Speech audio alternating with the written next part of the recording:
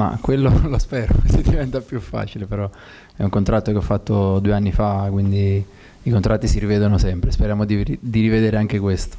Poi stimoli io li ho dal primo giorno, al di là del contratto, l'ho dimostrato quando ero in scadenza. Uh, un napoletano che gioca a Napoli è pieno di stimoli, quindi ah, va al di là del contratto sicuramente.